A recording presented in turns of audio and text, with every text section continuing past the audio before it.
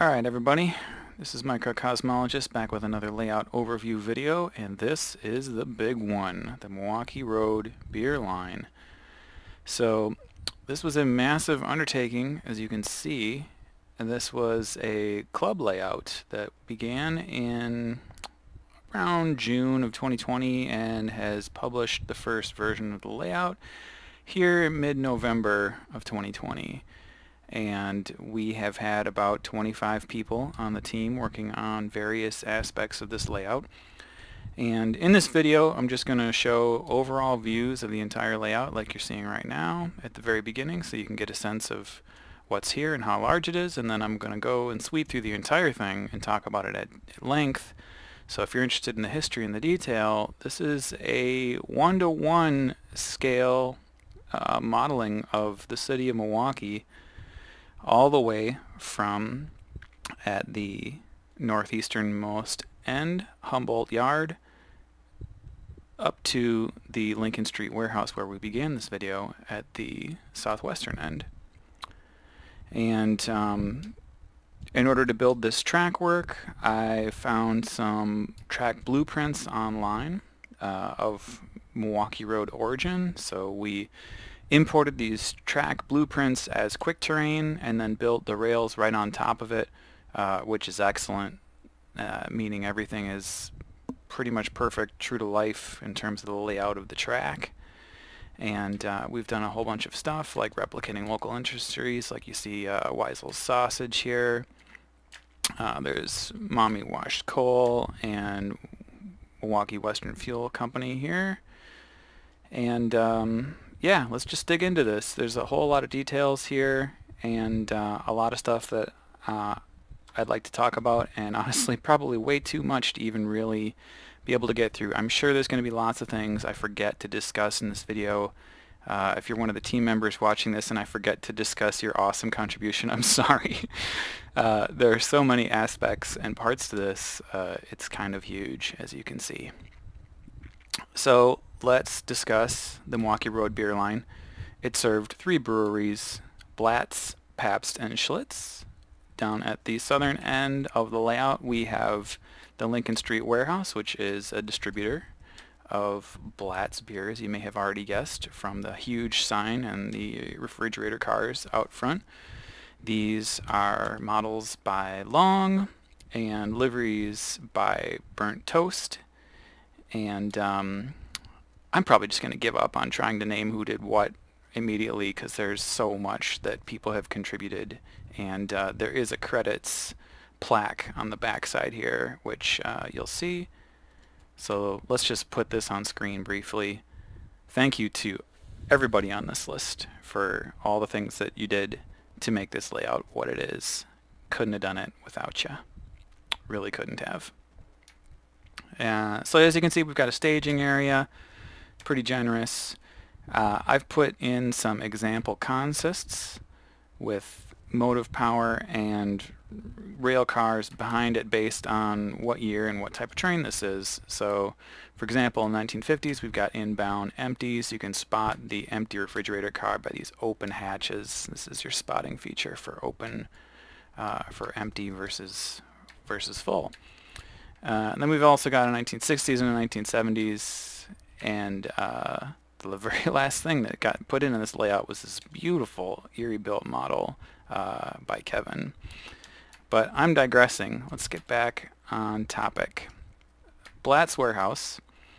This is the distribution point for Blatz beer. Uh, Lincoln Street Fireproof Warehouse was home to a number of industries, and honestly, I don't even know all of them. Oster's Furniture is a big one. We've got a couch and a sofa inside in the display room. And uh, out front, we have Milwaukee Journal Sentinel box cars. These would be paper for the Milwaukee Journal paper. A couple of uh, cool ice refrigerator cars and a tugboat going down the river. This is the Milwaukee River, and the Milwaukee River connects, of course, to Lake Michigan. I've got a map here, which I'm not going to leave on screen for too long. If you play this layout, you can really spend a long time studying this and see all the things that are present here.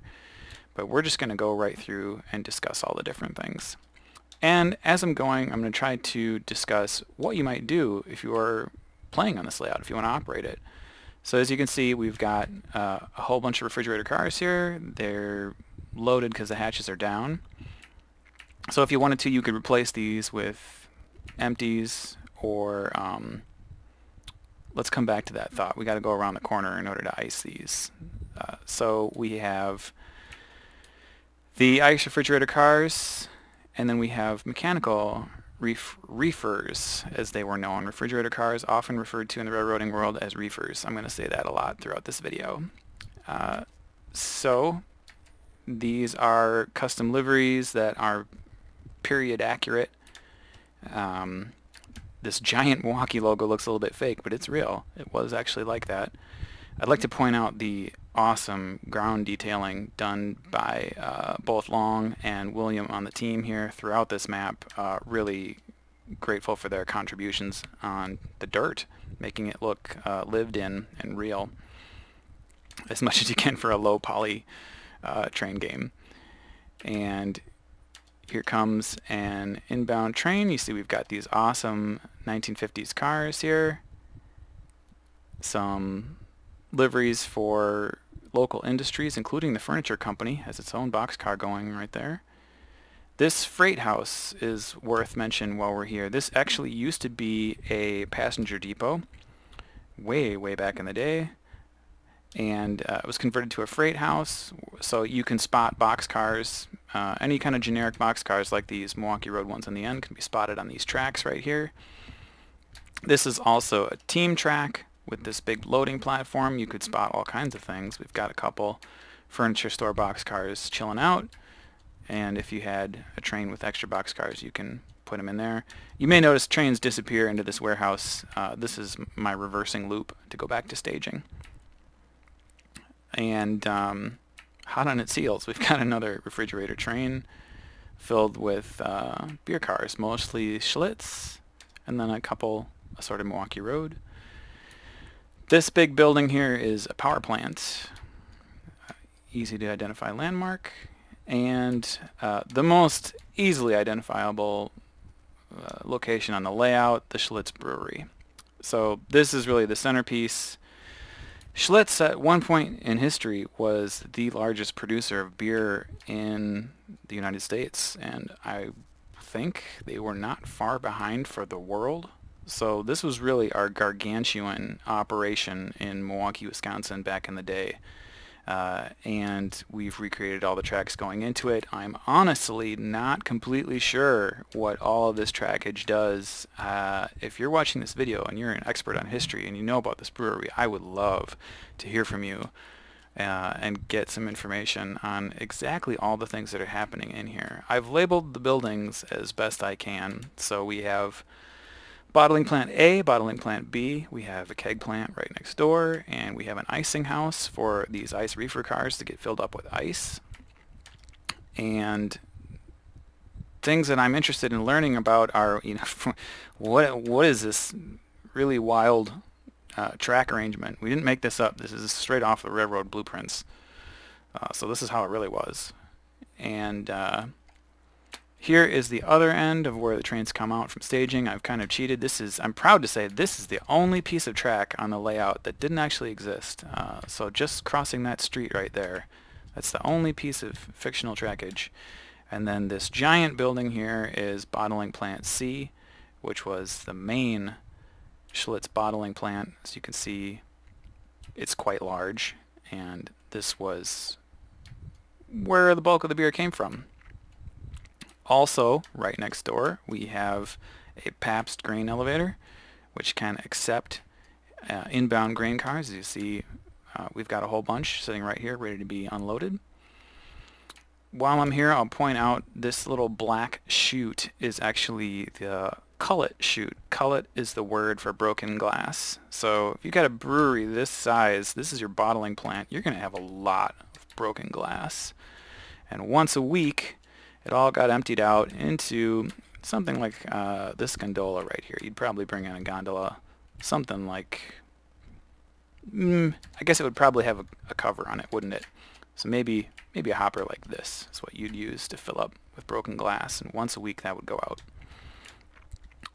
And we have a number of other buildings worth talking about. This is the main grain elevator. So grain shipments would come in. It also received tank cars full of, I don't know, chemicals, whatever you needed to do brewing. Uh, I'm admittedly not up on the ins and outs of how it all works. And then we have a spent grain elevator here, which I've labeled. And this is, you know, a really famous location. This big Schlitz sign is kind of iconic. And we've also recreated this little octagon-shaped Milwaukee Road uh, gatehouse right outside, which is a distinctive Milwaukee Road feature. And this yard is Cherry Street Yard. This is where Pabst beer was actually loaded. So right in front of the Schlitz Brewery, we have an army of these Pabst Blue Ribbon trucks, which are driving here from the Pabst Brewery, which is across the river and a mile or so away from the location of our layout, and loading them into all these ice reefer cars. And so if you want to operate this, you would bring in empties like you see here for Blatz.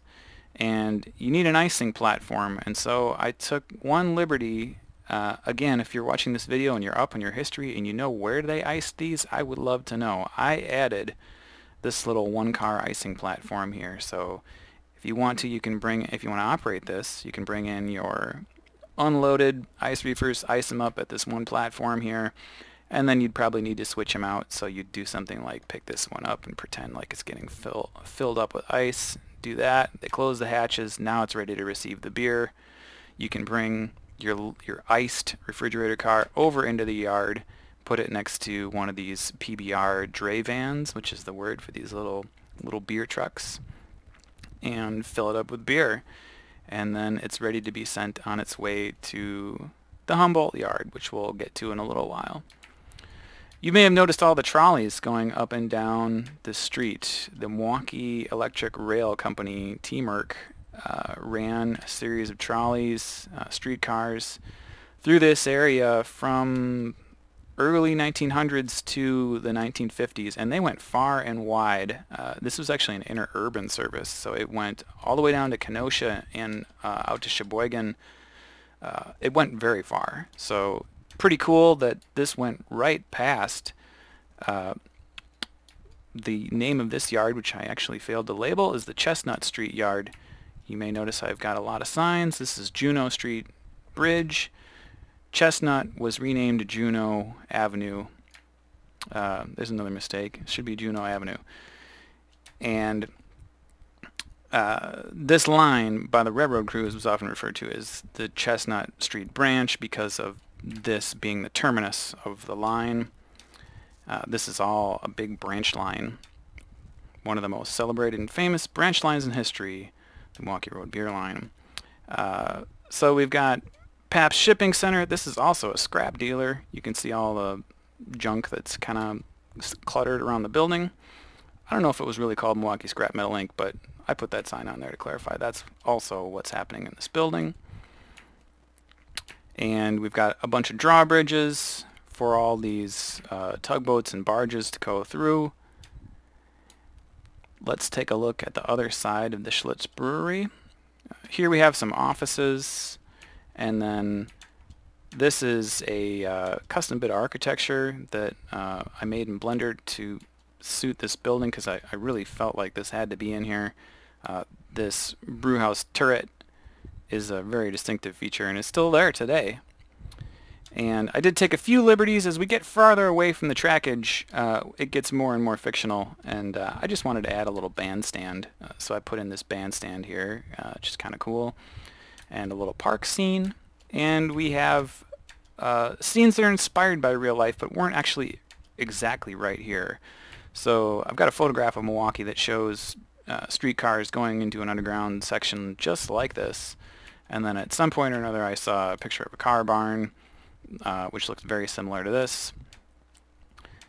Some buildings that are labeled here, the stock house, uh, the keg plant again, going back over this. The grain elevator. Fermentation house is here. Uh, this is the malt house. You may be wondering what the heck these things are. These are kilns.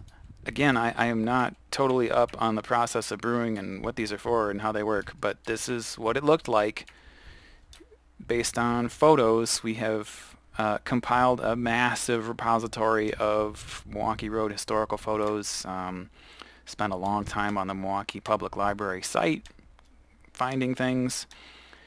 And uh, continuing along the line here, we have a little subway station uh, where the trolley line continues and then comes around this curve. This is also inspired by a photograph that I saw of the line, I think as it heads toward Kenosha, uh, through a below ground section like this. And we have one area over here that's meant to kind of mimic the interurban uh, portion of the Milwaukee Electric Railway Company. So this little scenic loop here, and uh, there was a a book with a, a, cover that inspired sort of this section, and you can see one of our map builders took the liberty of putting a camera right here, which I love. Uh, so that camera, if you sit right here and look, this is exactly the perspective from which the photo is taken uh, of one of these streetcars coming around the bend. And let's actually step inside this streetcar for just a second here. Uh, I love the detailing on these. This is made by Waldo, aka Trolleymeister, and uh, he put a whole bunch of vintage ads inside these, including our uh, Holy Trinity of Schlitz, Pabst, and Blatz, uh, along with some other period uh, things that are appropriate too. So um, let's continue down the layout. We have a big residential stretch here. Before I go any farther, I should note this intersection. Uh, the main street that goes all the way up and down this layout, which I struggled to label because it never comes near the edge, is Commerce Street. So this is a critically important street that goes all the way down, almost this entire layout uh, continues past here. So this intersection, Walnut Street, uh, Palmer and Commerce is a really cool looking intersection and um, here we've got another Milwaukee uh, gatehouse right there. I'm just to showcase this engine for a brief second while it's passing by. This is the star of the beer line right here, the Milwaukee, uh, excuse me, the Fairbanks Morse H-10-44. And um, Dark Derby on the liveries, Frisco on the model, uh, Microcosmologist here with some improvements on it, and uh, I absolutely love this engine. It is awesome. Uh, the back with the overhang, really iconic look, inspired the Half-Life 2 Razor train, and uh, just an awesome engine. I would not have even started this whole project, honestly, if I hadn't known he was working on it. So uh, just the knowledge that he was making this kind of gave me the green light in my mind to go ahead and yeah we can we can do this we can make this um, so continuing on I'll touch on more of the models later we have bottling plant C uh, some people may be watching this and saying what's going on here there's supposed to be a huge shed covering this whole area I've left this open just because it's easier to access if you want to actually run trains in and out of here and there was a period in history uh, where it was exactly like this. I've seen photos uh, that show it loaded up with cars. Uh, presumably they have to be loading beer, uh, and there's no roof here. So this existed like this for at least part of its history. And the ongoing theme with this layout is that we're really modeling things at the peak of their interestingness and not uh, with rigidity to one particular year. So there's a bunch of, um, let's just say, loose historical time frame things in this, such as this icing house. This would be later turned into something else when they stopped using these ice reefers like this and the whole railroads, uh, they all converted to mechanical reefers. Um, beautiful set of liveries here by Terrainmeister. Uh, he made a boxcar pack. Long made these boxcars. Um, I love the variety that they add. Paint train on the caboose right there. Another Kevin is there. Uh, Kevin model uh, with the 50s semis here. Frisco did the trailer. Uh, what else do we got? This is a boot and shoe company. And I didn't get too in-depth with this area right here. As we start to get farther from the tracks, I started to kind of pay less and less attention to what was what because this is already, as you can tell, a gargantuan research project. Uh, this yard right here is the Walnut Street yard. On Wal over Walnut Street. As you can see, it's filled up with a whole bunch of empties. So it, again, if you're operating this, you would take these empties. Uh, all, all of these are Schlitz you would take them over to the icing house here and fill them up with ice and then if they're the cream colored livery the way I'm operating it or suggesting to is take all the cream colored ones to bottling plant A and B as uh, well as the keg plant and take all the yellow ones over to the big bottling plant C here, and load them up with beer and send them on their way. They would have operated this in real life with a yard tractor I don't have any pictures of that. I don't know what it looked like. There's a big empty lot here. These are actually empty beer vats. Kind of hard to convey that, but that's what those are if anyone's wondering. Uh, and we've got a semi uh, tearing through the parking lot here, kicking up some dust. I'll point out this model while we're here. I'm going to go into camera mode just to make things look nice. Uh, this is by uh, another team member, Space, Spaceline Models, made this beautiful M EMD MP15AC, uh, which I really love. He crushed it as usual and uh, I made a livery for it that's got some Milwaukee Road details. You can see inside the cab. Let's just go right in there and look around. Uh, this is awesome. This is just awesome. Uh, all this detail here. He went above and beyond. This is really cool stuff. And uh, think if you make it nighttime, yeah, all this is glow in the dark too, which is real cool. And uh, while we have it nighttime, let's uh, let's take a quick look at some of the other details that are present at night. So this went in kind of at the 11th hour, lighted up all the windows. And if you turn on bloom, it looks pretty cool. Turn up the bloom. So there you go, Schlitz Brewing at night. And uh, some of those semis have lighted headlights, which is pretty cool. And lighted tail lights, as you can see there. So some nighttime effects that kind of got thrown in at the last second. Those are pretty neat. Let's go back to daytime. Turn off the bloom. So exiting out of camera mode.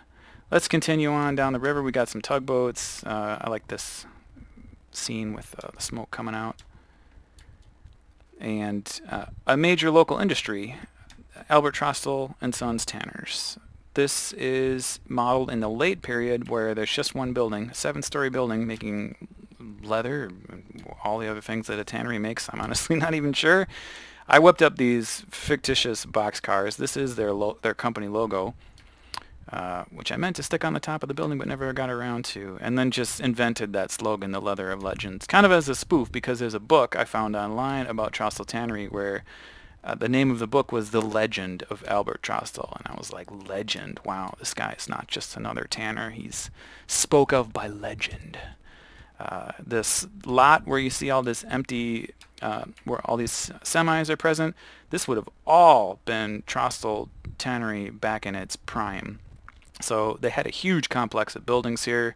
Most of it got knocked down. So this is more appropriate for the 1970s, which is perfect. We've got our MP15 rolling through right now, along with the America's Resourceful Railroad grain hopper right behind him.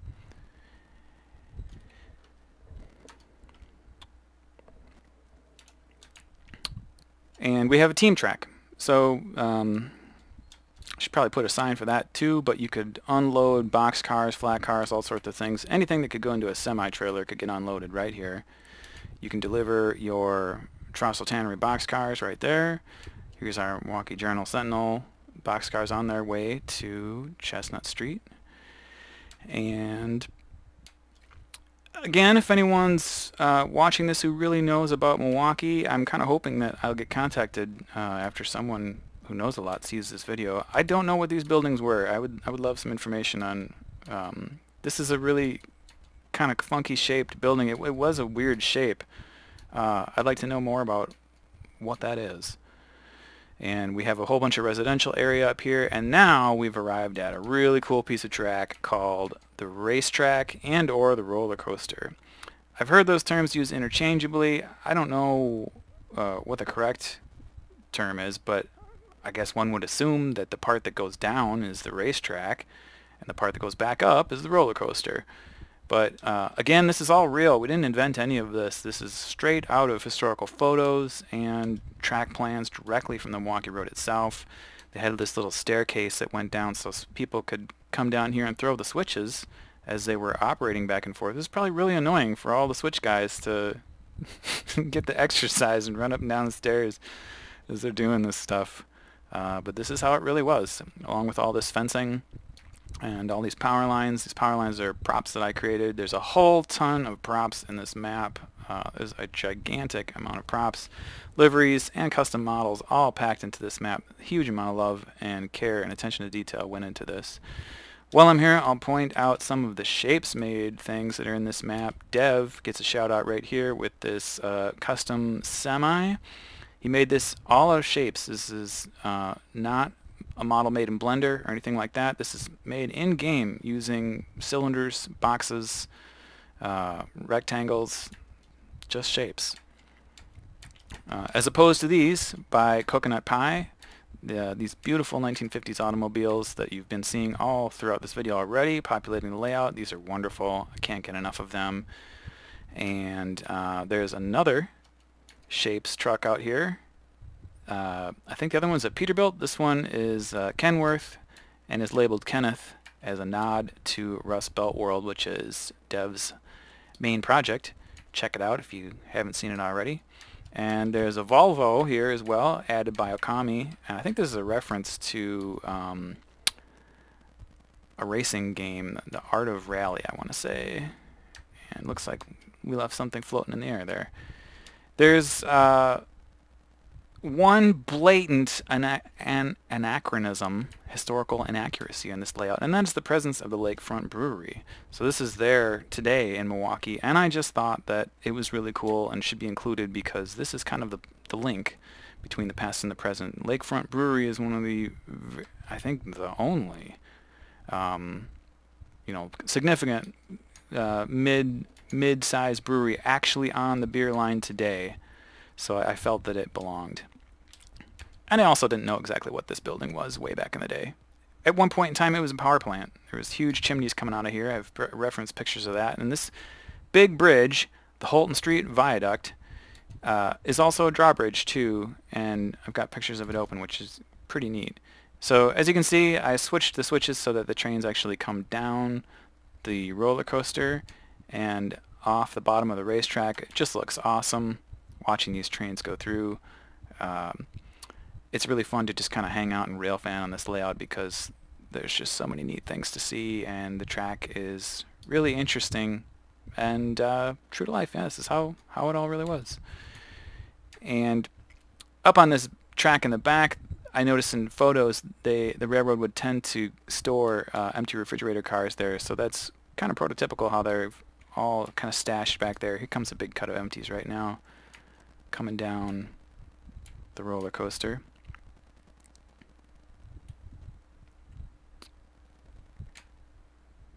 Just an awesome bridge.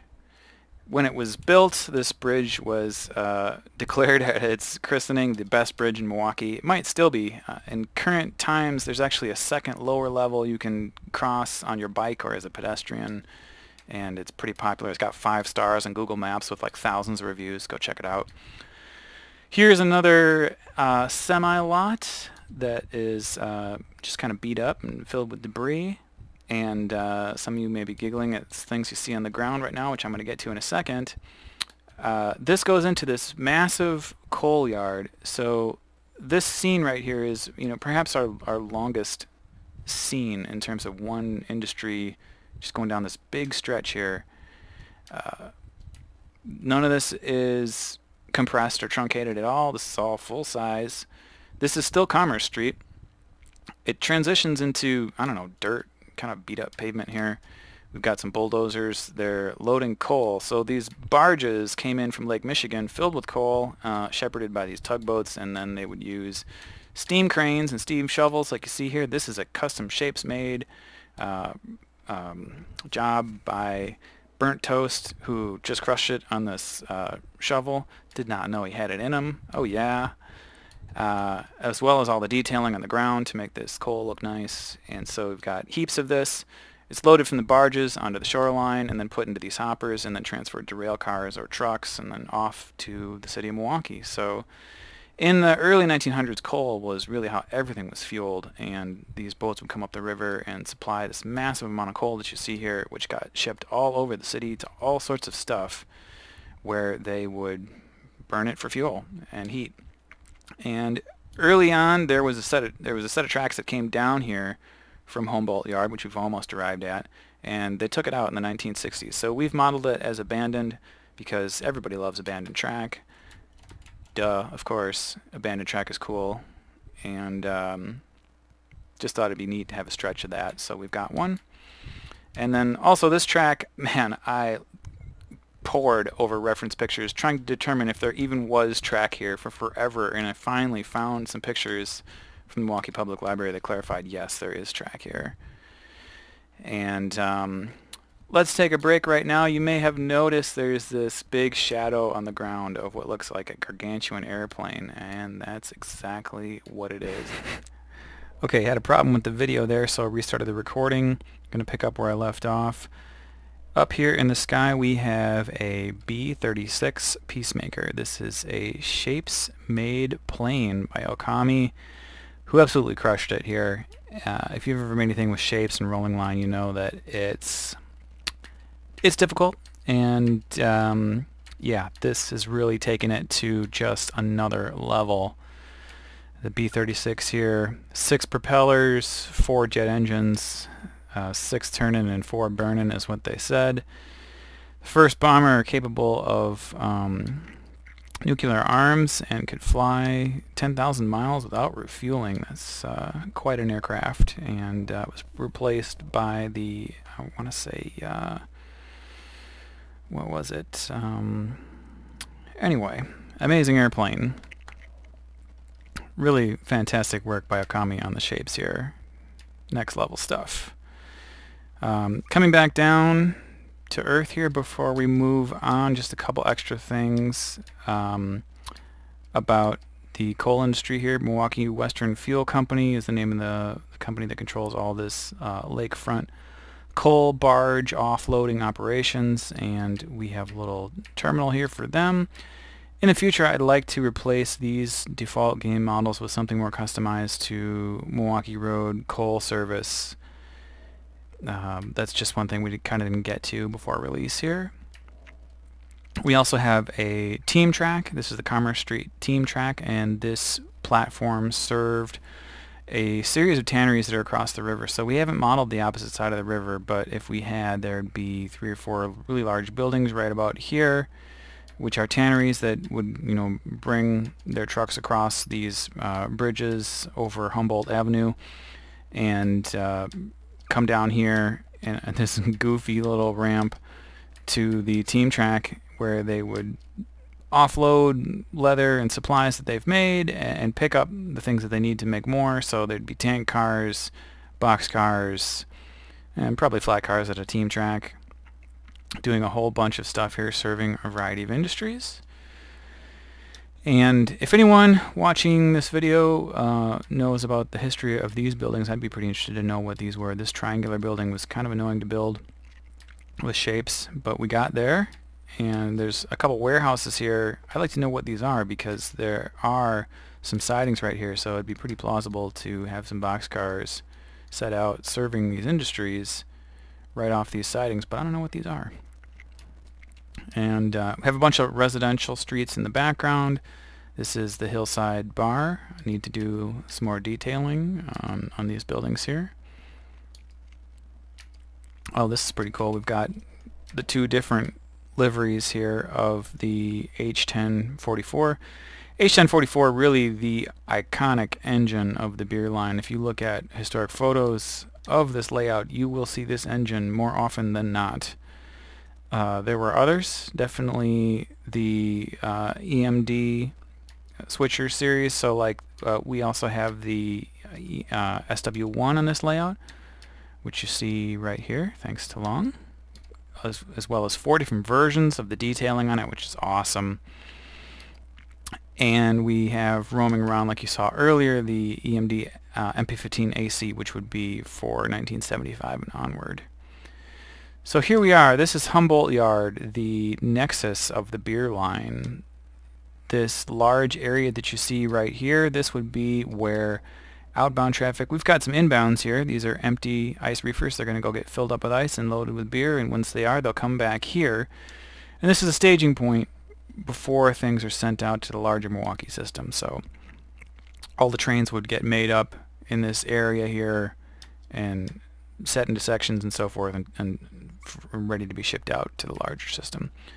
And we've got a whole bunch of box cars all hanging out ready for uh, delivery in all of the various team tracks and industries. And a couple other things in this area. This uh, sausage factory, Weisel's uh, Sausage, I'm pretty happy with how this turned out. Thank you to Dark Derby for help on all these graphics and signage. Uh, this is some pretty neat stuff. This I've got a photo that is pretty much exactly just right what you see here in real life. You could put it side by side with Rolling Line and it came out pretty nice. They've also got a loading dock down here on the bottom. This is, uh, I don't know if they had these semi-docks, but it seems like something that would fit right in, so I added that. The yard office is here, and again, the beer line was considered a, uh, a great assignment to have as a railroader because you're away from uh, excuse me, the hustle and bustle of the main lines, you're on a branch line. So they had some autonomy away from the bosses of the large, huge Milwaukee yards and kind of did things their own way down here. And um, we have a few extra buildings here. Again, I don't know what these are. I'd like to know more. If anyone watching this this video knows um, about all these extra little industries, it'd be cool to fill them out with signage and appropriate cars and, and service them correctly. We do have a scrapyard here in the corner. It's kind of come some ways. The color that you see on screen, I tested this video capture. For some reason, the colors don't look like what I see on my screen, so hopefully it's not too garish. Um, we have semi-traffic that would come through this area here. You may be looking at this off-ramp North Avenue and thinking, how in the world uh, but this is really how it was. It looked just like this, and um, semi-drivers would somehow navigate this. Maybe not with these long. Maybe I should have the shorter style semi going around this, but this is this is what it was. they did it. Milwaukee only hired the best semi-driver semi-drivers. North Avenue Viaduct here. What uh, I made some prop mods to represent this. Did a little bit of uh, 3D modeling in Blender. Did a lot of 3D modeling in Blender for the various aspects of this layout. Shout out to Camo for the layout um, water tutorial with these colors here. He had a great Steam tutorial on how to do that and I followed it. I think this was a swimming school at one point, uh, which is kind of funny because there's a dam right here. Uh, you better be a good swimmer swimming right there. um, a few other things in this area. Maumee washed coal. This is a pretty big coal industry. You'd fill up these cars here and um, they're washing the coal because that increases the value of it. Currently, as you can see, the trains just sort of disappear into the scenery right there. I'd like to expand this uh, literally where this big bunch of trees is. In real life, there's a cement plant right there uh, as well as a whole bunch of warehouses and the line continues up this way. I would like to expand this, but uh, as you may know by watching the uh, frames per second counter on the upper right there, I mean, we're pushing the limit of, uh, of the game here. We've got a lot of custom content in here, mods, all this is packaged into the workshop save. So you don't have to download any of it, it's all inclusive if you download this layout. You don't have to get any of these mods, they're all baked in. Here's our EMD SW1 number 861, cruising through. And um, this is kind of a cool little detail. There's a, a, a boxcar hut right here. This is the well, for now, the start of our trackage. We've got a speeder house right there and uh, an old boxcar that's been turned into a shed. I built this in rolling line by actually sinking it beneath the ground with a piece of track right there if you want to try that on your own layout. Excellent weathering here by Long. Uh, shout out for the coal industry. Looks great. And uh, we got some bulldozers by Kevin, bunch of logs, and uh, these pipes all sitting around. This is all just based off of historic photos. We've got a slew of historic photos that we used to to reference and build all this. And, and while we're here, actually, let's just back up and look at the whole thing. It's pretty neat to sort of just step back and and see it from the big point of view. It's a pretty low flying airplane right there. And we've got this map scattered around. If you're looking at it for reference, I put a star for UR here on all the different map placements. Just around the corner there's another one. And so we'll keep going back down the other side of the layout here and touch upon a bunch of other things before we finish off. Reservoir Avenue. This is um, paralleling Commerce Street there. It would be pretty neat if we do continue this layout to uh, actually build a reservoir. There's right where you see this curve in the road, just on the other side of that, there's a big man-made lake right here in real life. Uh, it'd be neat to model that. When it was dedicated, Holton Street Bridge was designated as the best bridge in Milwaukee. So I put that on the sign right there. I just love um, watching trains go through here. Something about this stretch of track is just a lot of fun. The racetrack. So we'll do a little, just a little bit of rail fanning, why not?